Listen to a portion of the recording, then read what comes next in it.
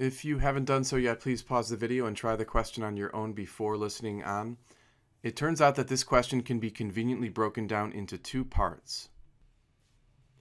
So in part one, we have the bullet colliding and becoming embedded in the block. And because of that situation, we have what is known as an inelastic collision. That's when the two objects that are colliding stick together, essentially. Now, because of that collision, the block and bullet are propelled forward. And so in part two, what's going on is that block and bullet are being brought to rest by the spring. The spring is compressing as the objects move to the right, and that's going to bring them to rest. Now, in part one, because we have an inelastic collision, we're going to be able to use the conservation of momentum. Whereas in part two, since there's no collision going on, we'll have to use the conservation of energy. And it turns out that we're going to begin the problem with part two. So let's go ahead and do that. Now, as the spring is bringing the bullet and block to rest, energy will be conserved, so we can write out the conservation of energy formula. Now, on the initial side of the equation, we're going to see two forms of energy, as well as on the final side. The block and the bullet are moving initially, so we're going to have some kinetic energy. Also, because there's a spring present, we have to incorporate the potential energy of the spring. The bullet and block are not moving upward or downward, so we do not have to concern ourselves in this problem with any gravitational potential energy. Now, initially, the spring is uncompressed. It's just in a relaxed form. So, in fact, the initial potential energy stored in the spring will be zero. On the other side of the equation, because the bullet and block are being brought to rest and they're therefore not moving, there will be no kinetic energy on the final side of the equation. So we can simplify this just a little bit. Now, of course, it's going to be useful to replace kinetic energy with its corresponding expression, as well as the potential energy stored in the spring. Now, you'll notice that 1 half appears on both the left and right hand side of the equation, so we can cancel that. What we can do is solve this equation for the initial velocity, and to do that we can go ahead and divide both sides by m, and then since we have the initial velocity squared, we'll have to take the square root in order to solve for the initial velocity.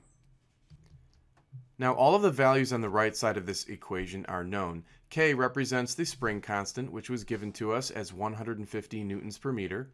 X represents the distance by which the spring was compressed, and that was given to us as 80 centimeters. Note that we'll have to convert that into meters in the equation in order for the equation to work. So that'll become 0.8 meters. And then m will be the mass. Now note that the mass will be of both the bullet and block together since they are basically the same object in this part of the problem. They're embedded within each other. So we'll have to add the mass of the bullet, which was 12 grams, and the wooden block, which is 100 grams. Of course, that's going to be 112 grams, but again, converting to standard units would give us 0.112 kilograms. Now, as long as the values are in their standard units, we don't actually have to write in the units because that can make the expression a little bit cluttered. Notice again that we're squaring the value of x. So if you pick up your calculator and simplify this, you should get approximately 29.3 meters per second. So that's going to be the initial velocity that the bullet and block had right after the collision they experienced in part one of the problem. Now, the key will be to take this velocity and we're going to borrow it and, and bring it back into part one of the question. Let's remind ourselves what part one was. So in part one, the bullet was colliding inelastically with the block. Now, after the collision, the bullet and block took off with some velocity, of course. What we have to realize is that the velocity we just found in part two of the question, remember which was the initial velocity of the bullet and block before they were compressing the spring, this velocity from part two will become the final velocity of the collision part of this question. So we know from our work in part two that the final velocity will be 29.3 meters per second.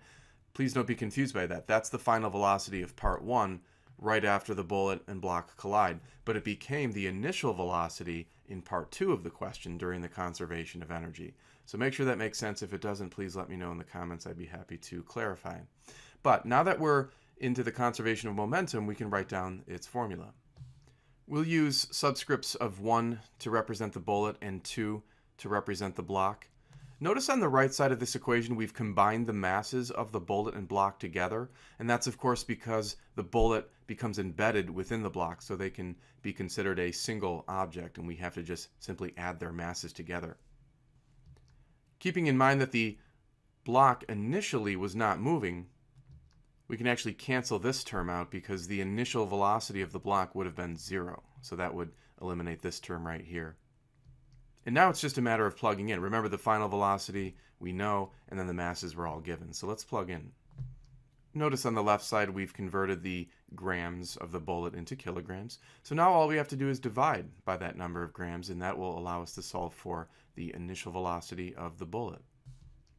And after plugging this into your calculator, you should get approximately 273 meters per second. So thanks for taking the time to watch this video. If you like it, please subscribe. And don't forget that you're welcome to send a picture or a text of your own question to the following email address on the screen.